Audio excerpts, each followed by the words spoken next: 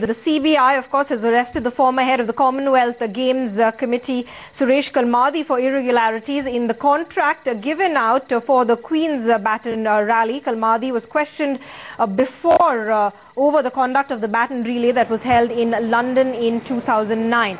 Now, he had earlier said he cannot appear before the CBI, citing his foreign visit, but even after returning from his visit abroad, he did not turn up before the agency, saying he was still not in the country. Kalmadi was interrogated earlier this morning by the CBI for the fourth time about a slate of contracts that saw the most expensive firms being hired for equipment and services.